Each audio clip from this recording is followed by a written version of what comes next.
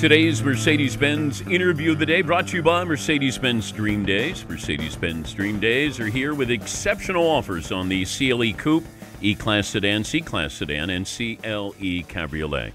Going on now through September 3rd. Learn more at mbusa.com slash dream. Uh, Seton, update the poll results because I'm going to ask Dianna Russini the uh, same question. If you had to pick one to make the Pro Bowl, right now we have Caleb Williams with about 55% of the vote, followed by Jayden Daniels uh, at about 24, Bo Nix and Drake Maye. mm, long shots. Okay, let's bring in Dianna Russini, the uh, Athletic's senior NFL insider, co-host of the Athletic's Scoop City podcast with our buddy Chase Daniel. Let me start there. Who do you think uh, has the best chance to be a Pro Bowl quarterback this year? Well, I want to go with the people who know football, and those are head coaches who I've been talking to over the last week. Some coaches that I was even talking to over the weekend as they were waiting to go out and play their own games, and they had the Bears game on, and they were checking Caleb Williams out, and and he is as advertised uh, in terms of being ready for this offense, being pro ready. And look, we spent the entire offseason – singing his praises, highlighting how good of a player he is. It was a sure thing that Chicago was going for him. Probably about a week before the combine was when it, the conversations really started to pick up that they were definitely going to go with Caleb. And it was very difficult to find an organization that didn't believe that Caleb was the best quarterback of this class. So the fact that uh, he's already been go- able to to start working towards being a starter and a ready one and one that is going to probably have a lot of success this season, especially with the way they built the Chicago Bears team. My vote is for Caleb. But it is it is so good to be back, Dan. I feel like it's been a while. yeah. The last time we the last time we chatted, I think I was still at ESPN. I think I was in Stephen A's office with a cowboy hat on and a cigar in my mouth. Um, and if I recall well, I think we were talking about what the New York Jets were – selling to Aaron Rodgers in Green Bay uh, on essentially come here, you can win a Super Bowl, we'll give you everything. So two years later, two kids later, uh, we are back. Okay. If you gave the Jets a do over,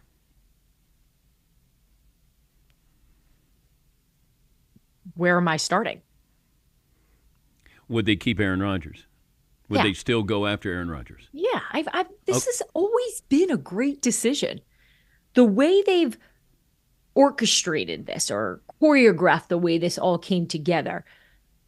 At the time I was on television, I was writing that the New York Jets are brilliant. They're doing what they should be doing.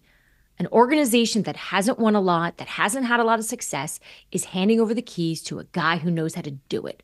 A guy who understands how to win, how to run a hard practice, how to win in big moments, and how to lead a locker room.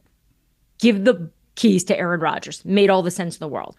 But what I didn't see in the moment, as someone covering that team pretty closely, was that when you hand the keys to Aaron Rodgers, then all the rules go out the window too. And I think the team ran into a lot of issues, not just in the offseason, but during that um, time when they were trying to build what they were going to be. And Aaron Say at times became a problem because that's not exactly what the head coach wanted to do. It's not what the GM wanted to do all the time.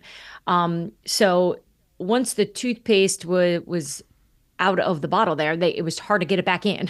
Uh, so Yeah, they but he brought in players who, you know, he's not a good GM. Uh, No, you know, the no. players And- that he wanted brought in.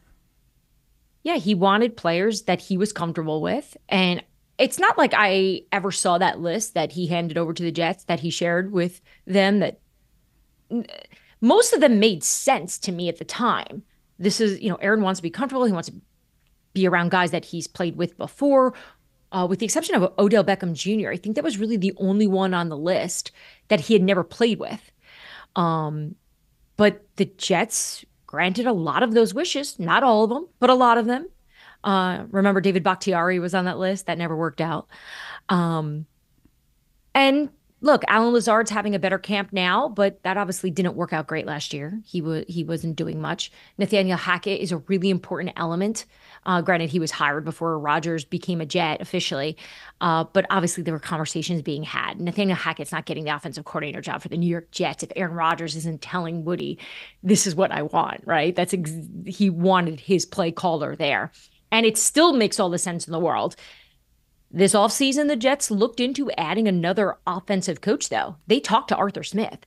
There was a time where they wanted to bring Arthur Smith in to assist with perhaps some of the play calling that they thought wasn't as sharp as as they want it to be. That maybe Nathaniel Hackett was losing his fastball. Um, but that didn't work out. Obviously, Arthur Smith now in Pittsburgh, and he's got his own set of challenges uh, as we speak. I know you spent some time with Sean Payton, and Bo Nix seems to be picking up Sean's system, which isn't easy for anybody to pick up, but he seems to be thriving. When does Sean make the, the call on who's his starting quarterback? Yeah, I expect Bo Nix to be named the quarterback over the next few days. Um, Sean hasn't done any media, I think, since their preseason game. So I'm expecting when he steps up to the microphone, uh, most likely tomorrow, I would see, I could see that possibly happening. Um, look, I spent two days around them, and Dan, there's when you when you stop by a lot of different camps, you you can there's a vibe. There is there it's it's not made up. You can feel it on the ground, um, and the vibes in Denver were extraordinary, from the head coach to the quarterback, and yet the stars of the camp, from my perspective, was actually the Denver Broncos defense. Um, yes, Bo Nix and Sean Payton appear to be a marriage meant to be. Um, Sean Payton joined my podcast, Scoop City, and normally I like to have my guests on for about 10 minutes. Sean was on with us for 40 minutes. And that's not because I'm I ask good questions. It's because he talks a lot. And when he's happy, he talks plenty and he is glowing about what Bo Nix has been able to do. And a lot of it has to do with his experience in college. Obviously, he's 24 years old. He's had 61 starts. He's had the most experience. And going back to even that draft process, I recall, uh, you know, lots of GMs sharing with me and even even guys that were doing the work on these players that Bo was in that category of Caleb in terms of being pro ready, right? A lot of these other guys needed a little bit more time, right? So Sean's leaning into the fact that he can understand what is being asked of him. He's not panicking in the pocket. He appears to be a veteran type of player out there when you're watching him. And then let's just talk about this quarterback room in Denver, right? It's it's a bizarre one, right? You have Jarrett Stidham, who was with Sean last year. You've got Zach Wilson, traded from the Jets, now in Denver, and you have this rookie Bo Nix. Um, and Zach Wilson's only like three months older than Bo Nix. So I say veteran, but it's not like he's this big older brother. He just has a little bit more experience than Bo. Um, and you've got Davis Webb, the former backup quarterback of the New York Giants, now the quarterbacks coach there, which he's getting tons of, of, of praise out there, what he's been able to do in terms of teaching this Sean Payton offense. Because I, I asked Bo um, how he was digesting Sean, all of it, from the play calling to just Sean Payton, the, the, the person, the coach, the demands, the standard he holds for a quarterback. Um, and he, you know, he said that he just felt that everyone has been on the same page, and Sean has been almost a better listener than a talker. Uh, which obviously was the opposite on my podcast. Um, that he's just done a good job of understanding what Bo needs, and Sean is supplying that. And Sean even shared that with his play calling. He's cut down some of it to help Bo take this next step and get comfortable in this offense. Talking to Dianna Russini, the Athletic's senior NFL insider, co host of Scoop City podcast with Chase Daniel. Tom Brady over the weekend at the Fanatics Fest talked about the tragedy of forcing rookie quarterbacks to play early. Uh, seems like a little bit of hyperbole with the tragedy word there, but as you've mentioned, Jayden Daniels, Bo Nix, Caleb Williams, they've been quarterbacks with two different universities, two different offenses, and they played upwards of 45 to 60 games. I, I don't, and they've gotten their money, NIL. It feels like they're more pro ready than they've ever been. And I don't know if Tom is just thinking what it was like when he was seventh string quarterback in New England and moved up to be the third string and then eventually the starter. But is it a tragedy of what we're doing with rookie quarterbacks? Yeah, my takeaway from listening to Tom specifically talking on the topic was more his uh, experience of playing the position and the challenges it brings. And it was almost like he was admitting that this is a tall task. This is hard. I had to go through this, this, and this. And I think it's also human nature. We tend to reflect back on our own experiences and you sort of become the old man in the room. Not that I'm calling Tom old, uh, but the way he reflects on his career may not be exactly the way the game is now. And, and I, I'll call them my football dads, the, the the men that I've been around all these years that have helped me understand this game and get better as a reporter covering it. They would probably, most of them, the majority of them, would probably side with a Tom Brady in in in this respect because there is definitely definitely value to sitting. I mean, we everyone uses the example because it's the best example, and that's Patrick Mahomes in Kansas City, having that time to sit and watch and learn and grow. Despite the fact that, if you recall, we would hear during the season, during practices, from players chatting behind Alex Smith's back, I guess, uh, how good Patrick Mahomes was, that he was already blowing them away. But just getting that time to adjust and learn. I spoke to Jordan Love on Friday. It was such a great conversation about that first year. Not just the the uh, hype around him, the fact that he became this controversial quarterback to join the Green Bay Packers, knowing that Aaron Rodgers was obviously the starter and the Green Bay Packers did what they did um, at the time, the drama surrounding that. Forget that. He did talk about it, but forget that. For this, for what I want to talk about though, is his ability to play in the NFL at that time. And I, I joked with him. I said, "Let's let's pull some some film of you from your practices that that year." He's like, "Oh my god, please don't, please! I, I don't even know who that guy is. I don't know who he is." You know, and, and I appreciated how candid he was about it, and obviously very confident in what he is and who he is now. To go, yeah, I stunk. I was not good. And look, I can remember back uh, Jordan's first and second year talking to people in Green Bay, being like, yep, we messed up. He ain't the guy. Well, guess who's the guy now? Guess who's blowing coaches away? Guess who's understanding the offense? Really? Guess who is the clear leader, clear leader on the field when you're watching the Packers? And just from the way he conducts himself, um, and just his understanding of what his job is now. And I think him getting this deal done was, was the best for his overall confidence. And, and I felt it too, just just talking to him. Um, so really to go back to your question about Brady, I I, I do think times have changed. Um, and and it's great that this quarterback crop we're to truly see it. We're to be able to see some of these guys that are gonna sit and some of these guys that are to play, and more are to be playing. Uh, obviously, as you as you pointed out, we got Caleb and Jayden. Um, I think JJ McCarthy had a really good shot there before he got hurt. Um, I was with Minnesota the day that news came out. That was not fun. Um, you know, coach was heartbroken about it. The whole team was. You just you you felt it. They just felt for the kid because I I do think the plan was to play Sam, but JJ was making a strong case to get in there. Um, you know, and then and then now you have Bo Nix here, who who who seems that he he won this job fair and square. Yeah. Before I let you go, you were talking about training camps have a vibe.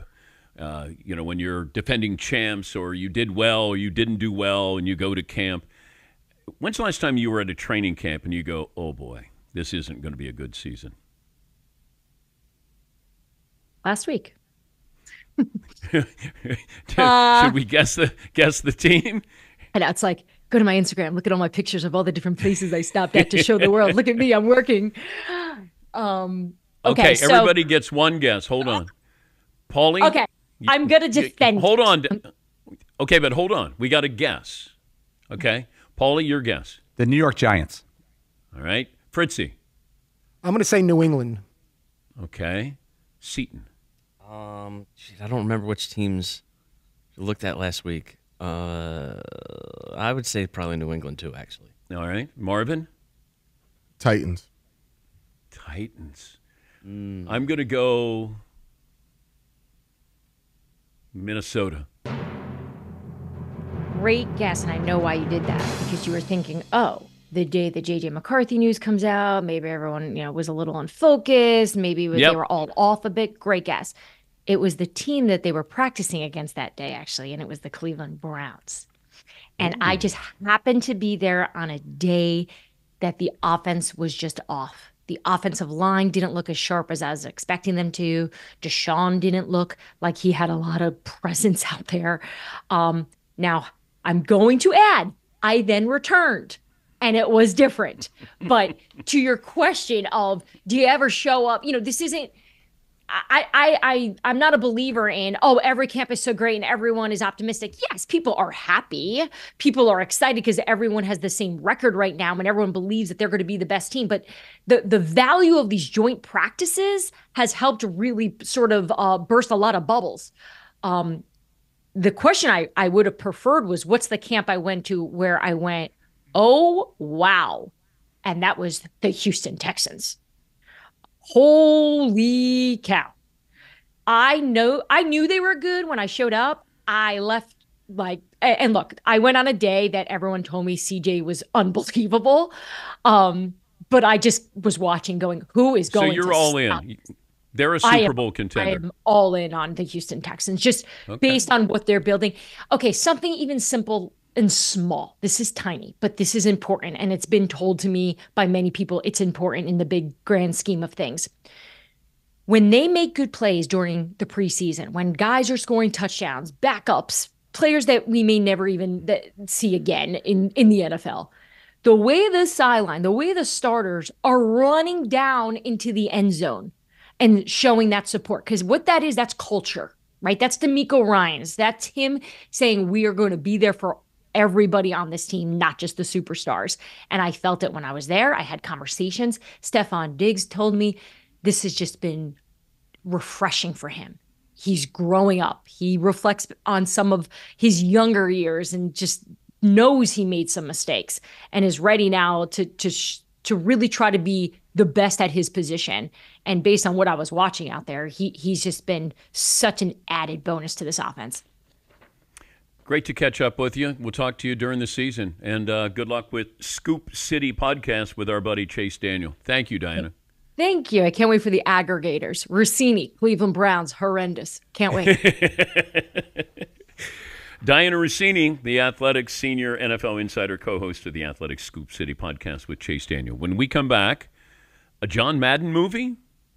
It's happening.